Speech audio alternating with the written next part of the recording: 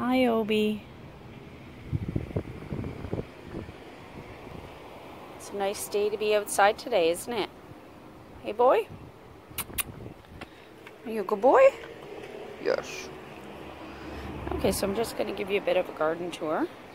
Now that the garden is waking up, here's the lavender. As you can see, it's come back to life. It's gotten quite big, and uh, I can't wait for all this lavender. I like to make lavender wreaths. It's very windy, but it's still a beautiful day.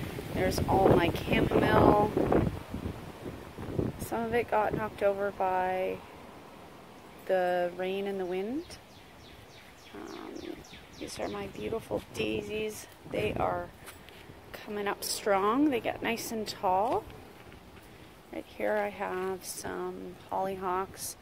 Uh, apparently once you have chamomile in one place, you have it everywhere because the seeds really germinate everywhere. Here is a different type of lavender. I wish I could remember what they're called, but anyway, this one's doing really big, uh, good, and it's a lot bigger than last year.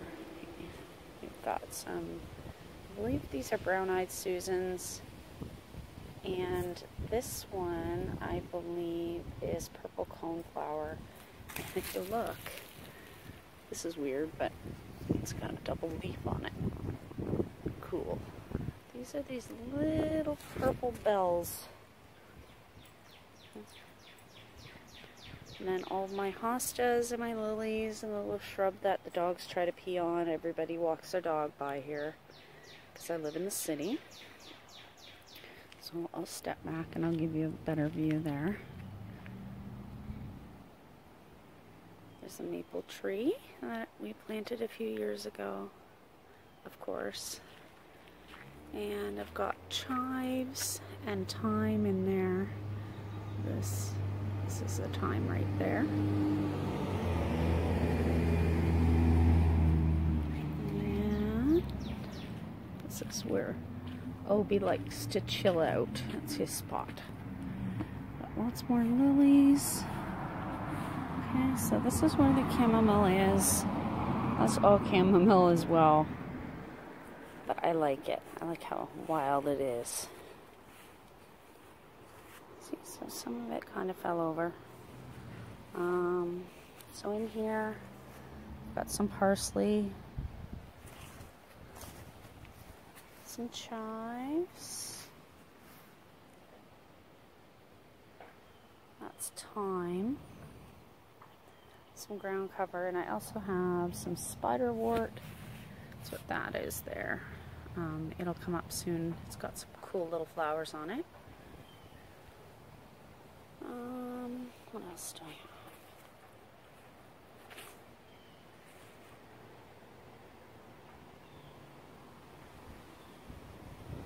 These are tiger lilies. Some sedum right beside the tiger lilies. Um, my poor yellow iris fell right over. It didn't have enough soil, so I have to do that. And these are our blueberry bushes, and if you look, you can see all of the flowers that we had, and they're all going to turn into blueberries. This is the first year that um, we've had any flowers. We just bought these plants last year, and I really didn't think that we were going to get anything, any flowers or anything, but I really wanted to try because, of course, everybody wants to have blueberries. So what I did was I mulched with pine needles to um, to up the acidity in the soil for the blueberries. So under the mulch, there is also some manure, some cow and sheep manure mixed together. Um, so hopefully these guys get bigger and uh, I, I hope that I can eat some blueberries that the squirrels don't, well, not squirrels as much as birds don't eat them all like they do the strawberries. So here's some hens and chickens. That's what I call them anyway, succulents. I've had these forever. I have so many of them in the backyard. And right here, we have some purple columbine. And actually, this one's white too. So pretty. And the purple ones. And right behind them are the purple irises.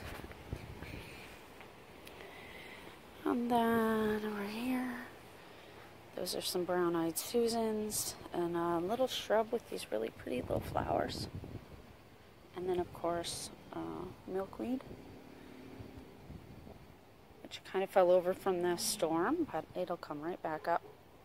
Milkweed for the butterflies and some rhubarb. And then this is all dill. And then right there, that's some catnip that I had planted in my winter sowing bucket that came up really nice and strong. So now I'm going to have catnip forever. I had onions in here so last year, so there's there's chamomile probably in here as well, and dill because they're a companion plant for onions and garlic. And then that is the steps down to the backyard. There's a snowman that blew over that I haven't put away. And that is it for the front yard garden. And this is how I collect my water. I'd love to have a big, um, one of those big giant containers, but this is what I do. I make do.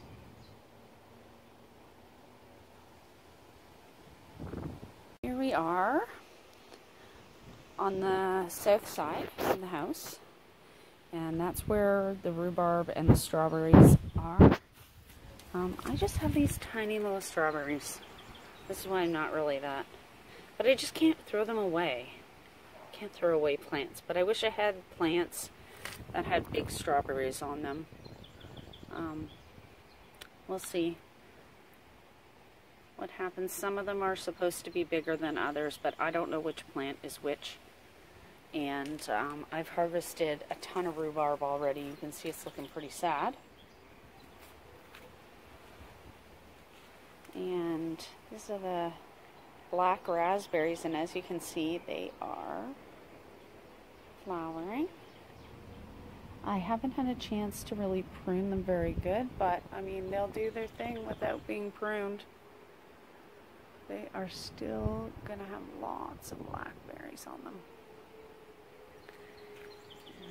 And so here's my sweet potatoes. I've been mulching with rhubarb leaves. They dry up really fast and uh, they're good for the soil. And that is parsley right there. There's some wild daisies that I've left there. Some black eye Susans. And we have purple flowers on the sage. I love to let them, I like to let them flower because the bees really like them. And then that is Italian oregano, which just spreads everywhere, which I'm fine with because honestly, I will trim that all back and dry it in my dehydrator and I will use it and I never have enough. I can honestly say I make a lot of pasta, pasta sauce, all yummy things that are Italian. Okay, and then the next level down here is what I like to use as my lettuce bed because it, it's in the sun right now, but it uh, it doesn't get a lot of sun, so it's pretty shady. And as you can see, um, the bigger pieces of lettuce over here to over to the right um, are from my winter sowing buckets. See, there's some still that I have not uh, taken the plants out of. They're still growing in there. Um, but yeah, the big salad, the big lettuce is uh, from the winter sowing, and then the ones that are littler in the rows there that you can see um, are the ones that I direct sowed. And also there are two rows of carrots, and then onions that got knocked over by the rain. Um, those are from last year, and I missed them somehow, so I'm growing them for seed. Um, they'll flower, and then I can collect the seeds. So that is my side garden tour. Okay, so we're at the backyard. Came down these steps that I showed you. And that's the lilac bush that is now done blooming. Um, that's our shed and our pond. And let's see if I can show you. how many tadpoles are in there. Can you see them? Lots and lots and lots of tadpoles. And a couple of goldfish.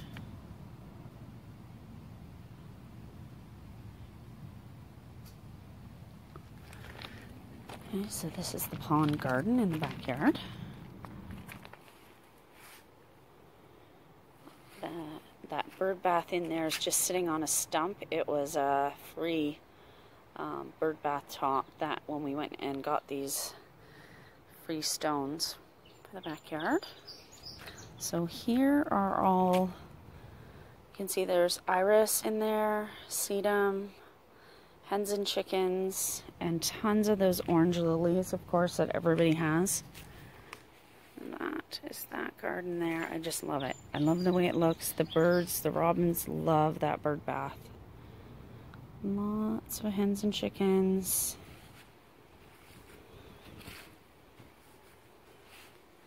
And we have some flowers here along with the raspberries. These are lilies, tiger lilies and a big sedum there. And I uh, planted some more raspberries here, hoping these are actually raspberries and not blackberries. Okay, so I'm going to turn around and show you my tomatoes. Okay, so I have my tomato garden here, all mulched. And I like to support my tomatoes like this. I find the cages just don't do it, especially how tall these tomatoes that I plant. I have Roma, San Marzano, and uh, Sweet 100s, which are really, really tall. So I like to do them like that. That way the rain or whatever does not knock them over. And then you can see my bird bath in the center there. I have tons of tomatoes. I think I counted 50 tomato plants. I'm planning on learning to can and uh, I'm going to freeze a lot of them. So there's the little patio that we made. um, there are actually onions in here. I find it ha I'm having a hard time with onions if anyone wants to give me some tips. Um, I am going to mulch them with straw like everything else, like the tomatoes are here and the basil. Um, but I just don't want to smother them, so I'm trying to let them come up. But as you can see, there's grass coming in stronger than the onions. So these ones are the white onions, and right here is the red onions, which there's only a few up. So I don't know. I don't know about onions, but garlic. Look at this. Ooh. The garlic is doing awesome still. It's still going. I'm so excited because I am new at growing garlic. This is my second time doing it and uh, I noticed that the stems are nice and thick on them. Look at that. Which means the bulbs are nice and big. And voila, there's the potato garden. Let me step back here. Look at that. So there was only one spot in the back on the right there where potatoes did not come up. The rest of them all came up. Um, I did a video on planting potatoes and I'm so pleased with the mulch. Again, the hay is really helping. Um, potatoes really love it. They came up right through um, lots of straw and they look awesome. So I'm really hoping for a good amount of potatoes. Here's my sad, sad pepper garden. Um, these peppers here, see, they're still hanging on. Some of them even have peppers on them, but they just look so sad. Um, but I just can't pull them out, so I just left them. I planted them right during a, um, before a heat wave. So we'll see what happens if we get many peppers. And then right beside we have more brown-eyed Susans, um, some sunflowers, and we have some beans. So green beans and yellow beans in here. And I have some more that I started inside just in case, so I'm going to add them to the row And I'm going to put up a uh, support and I'll show you how I'm going to do that. I also have this ladder set up. It's a very, very old ladder. I bought it at a garage sale. It's literally going to fall apart pretty soon, but I'm going to use it until it falls apart. At the back, what I did was I put the put my peas, sugar snap peas. I put them at the back of the ladder, and then I'm going to let them grow up the back.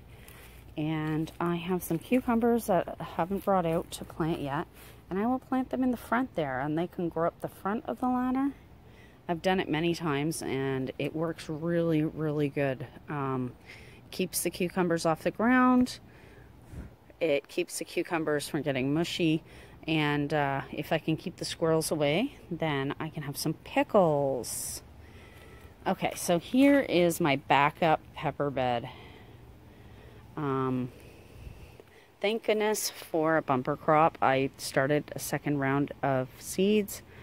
Um, I was going to sell them, but I burnt all the first ones, so most of these are actually green peppers. California Wonder, you can let them grow until they turn red. Um, I've got jalapeno in here, I think, as well. Um, but most of my chili peppers got burnt. So, so yeah, so I've got some there. And then two right here.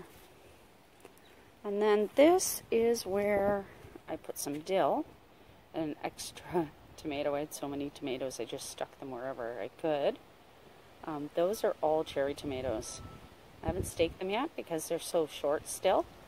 But right here is going to go uh, squash or a pumpkin. I'm going to let it grow out. Probably another one here. And also there. So I've got winter squash and I've got pumpkin and uh, that's what this side that hasn't had anything in it yet is going to have. And then my garden will be full. So there's my garden tour for June. I hope it gives you some idea of how you can turn an entire city property into a food garden.